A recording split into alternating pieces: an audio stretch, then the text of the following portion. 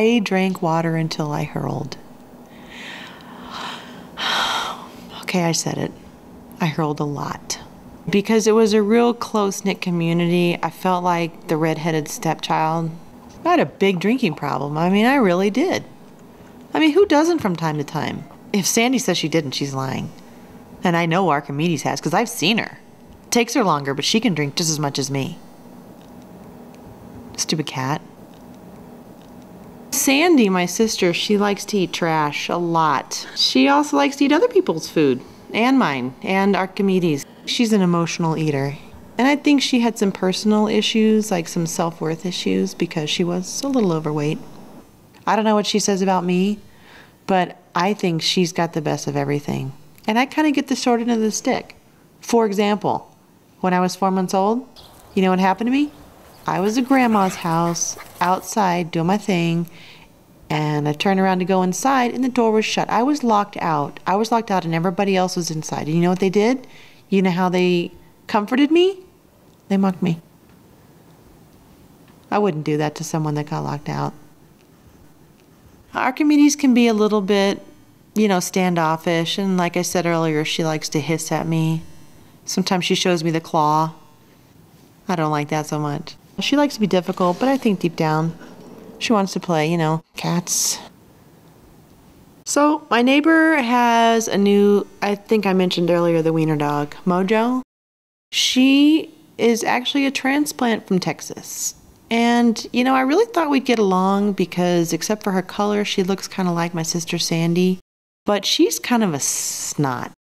She's just aggressive.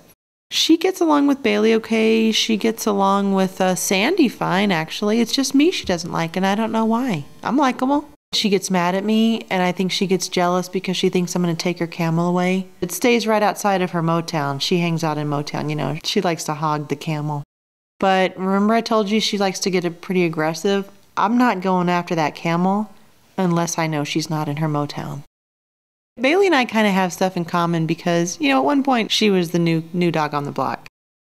Auntie Anna and Uncle Mark got her in 2004 when her family just gave her up. They just one of the kids was allergic, so she was living in a garage, and they brought her over to live with uh, Auntie Anna. I think I identify with Bailey more because she and I were both brought into the family, you know, like after it had been established. And we kind of had to be the second dog. We had to be the last one to eat, the last one out the door, the one locked out. I don't know if Bailey's ever been locked out, but anyway, you know, we, we kind of, I think we kind of get along because we have similar backgrounds. Although I have a lot more energy than Bailey. She's 12 years old. That's really old in human years, but yeah, we get along. I miss Gunnison. I would go back there right now. I, I really got into hiking when I was there. I even had my own backpack.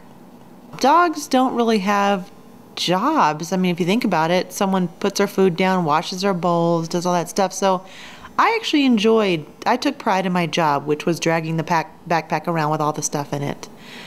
Basically, in the mountain setting, if another dog got lost or was hurt or hungry, I had it all in my backpack.